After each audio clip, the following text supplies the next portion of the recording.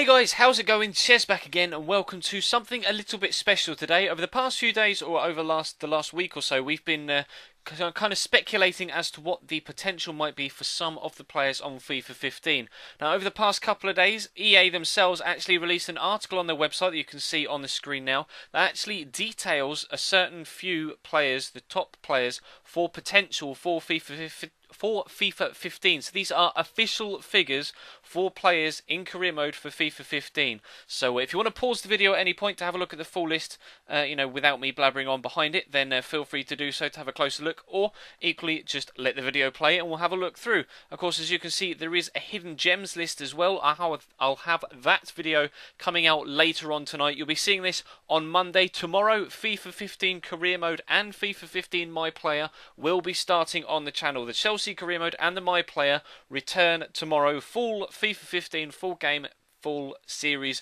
is a go. Really, really excited to uh, to bring that to you. But anyway, let's crack on with this, shall we? Of course, if you you're interested in career mode and you know people that would be interested in a this uh, this particular uh, article or just this video in general that is me showing you them, then of course feel free to uh, to tell people about it so they can come and see for themselves. I'll leave a link to the article in the description as well if you want to have a look yourself. But uh, let's start off at the top. We might as well. Paul Pogba apparently is the player that has the best potential for uh, career mode. As you can see, 20, 21 years of age, 83 to 89. Not a big growth, but of course he has had an improvement from his FIFA 14 card initially in the first place. There are a couple of players near the top here that I don't really know too much about. The first of which is Tielemans from Anderlecht, uh, centre mid who's only 17 years old, but apparently has a potential of 88. We looked at Laporte and uh, Memphis Depay in uh, the potential stars series, which was up last week, both of which have a potentials of 88. Rafael Varane is a player we signed on the Chelsea career mode last season, and uh, he got quite close to 88. I think he got to 87. He may even have reached 88 by the time we finished that third year. Uh, Iturbe is a player that you guys wanted me to look at for the potential series. I didn't get around to doing it, but as you can see, he has a massive growth span as well from 77 to 88, full 11 uh, positive marks there. Maximilian Meyer we looked at, and he's been classified as 87, so 12 growth for him. Markovic is a player that I didn't look at, but clearly, as you can see, one of the uh, the best potentials in the Premier League. Januzaj obviously is going to grow well, up 12 for him. Then you get players from Serie A like uh, Stefano Sarawi, uh, Domenico Berardi, who had a very very good year for Sassuolo last year, and is no surprise that he has a growth of uh, 13 this year. And then uh, Simone Scaffet or Scaffet, I don't know who that is, and uh, I'll be honest, I'm not going to try speculate as to what uh, he could actually get up to. But according to EA, he has a potential of 16 growth, which is absolutely ridiculous, but not as big as uh, Zivkovic from uh, from Ajax, a striker, 17 years old, currently 69 rated, potential to go up to 86. So it's huge, some huge growth here from some of these players. We'll scroll down a little bit. As you can see, Alex Oxlade-Chamberlain's got some decent growth. Another giant growth from the Bundesliga is Julian Brandt, as you can see. Left wing, 70 rated, starting 86 is his potential. Lucas Piazon we looked at for the potential stars. He's got a growth of 86.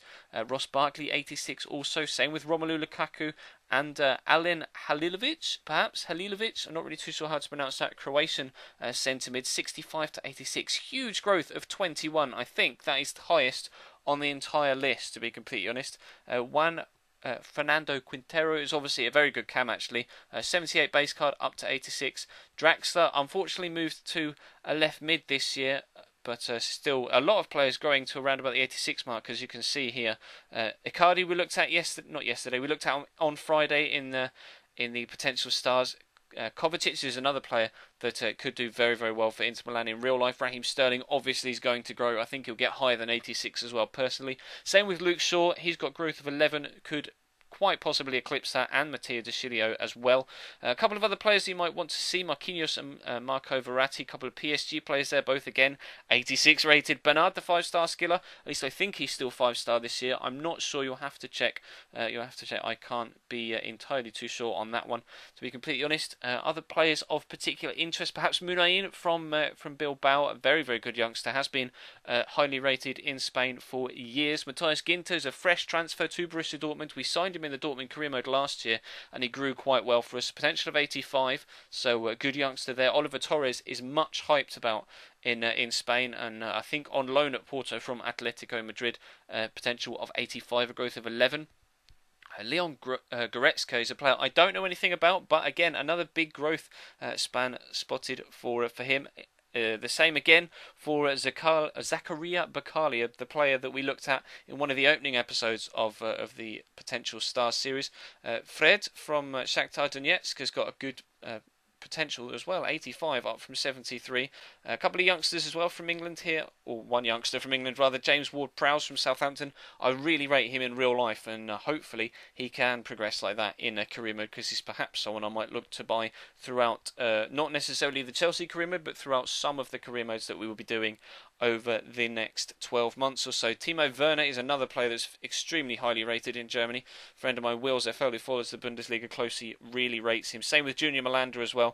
And uh, Luciano Vietto is a player that was uh, suggested a lot for FIFA 14 career modes, and as you can see, now at Villarreal and potential of 85 on him from 74. So there's plenty of youngsters in there that uh, could perhaps catch your eye. The sort of figures you'll have to pay for these players, I'm not too sure. It's a case of trying to bargaining uh, with the, the you know the the host clubs in your own particular career mode. But that's going to round this video up. Hopefully you enjoyed it. If you did, smash that like button, subscribe for FIFA 15 content, whether it's career mode or Ultimate Team. We'll have uh, FIFA 15 Chelsea career mode and FIFA 15 My Player tomorrow. As I've said, we'll have the hidden gems. We'll have a look at the hidden gems in tonight's video, so you will have a second video from me today. But that's all for this afternoon. Thank you very much for watching, guys, and I'll see you next time.